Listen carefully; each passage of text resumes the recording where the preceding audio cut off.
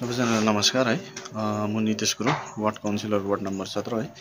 र विशेष गरी आज फेरि एकताला मिडिया समक्ष आउनुको कारण र सबै दार्जिलिङवासीहरूलाई मिडिया मार्फत के जनाउन चाहन्छु भने विगत केही आठ दस दिनदेखि यहाँ फेरि डम्पिङ यता डाइभर्ट मुर्दाहाटीतर्फ तपाईँले देख्नुहुँदैछ। डम्पिङ मुर्दाहाटीपट्टि डाइभर्ट भएको कारणले गर्दाखेरि यो आठ दस दिनदेखि आगलागी यहाँ काण्ड भइरहेको छ है। त्यसरी नै हामीले तिन चार दिन अगाडि हाम्रो दार्जिलिङ फायर ब्रिगेड साथसाथै पुलिस प्रशासन एसडिओ साहेब दार्जिलिङ म्युनिसिपालिटी चेयरमेन र Darjeeling municipality team conservancy department team लगायत नै हामीले अस्ति भर्खरै हामीले यो आगो निभाउने कार्यक्रम गरेको थियो है। फेरि लगत्तै त्यो अलिकति निभाउने साथ फेरि भोलिपल्ट या पर्सिपल्टदेखि फेरि आग लागि फेरि अचानक बढेको कारणले गर्दाखेरि आज फेरि हामी पुलिस प्रशासन साथसाथै फायर ब्रिगेड हाम्रो जो यता दवा सर हुनुहुन्छ है उहाँको टिम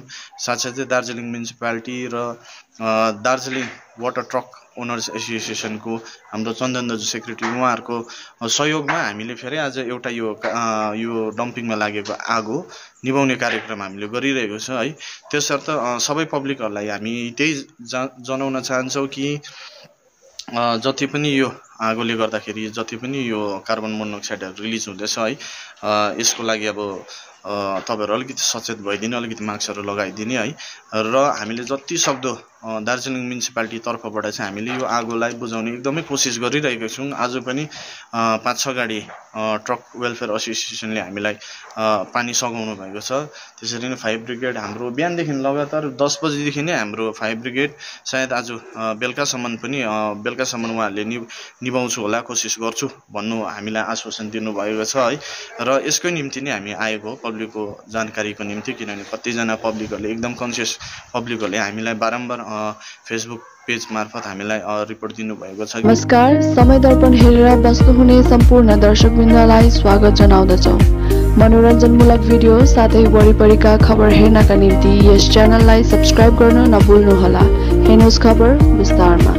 बारम्बार फेसबुक पेज मार्फत हामीलाई रिपोर्ट दिनुभएको छ कि डम्पिङमा आग लाग्ने भइरहेको छ र तपाईँले के गर्नुहुँदैछ भनेर हामीले यही कामहरू गर्दै नै छौँ है।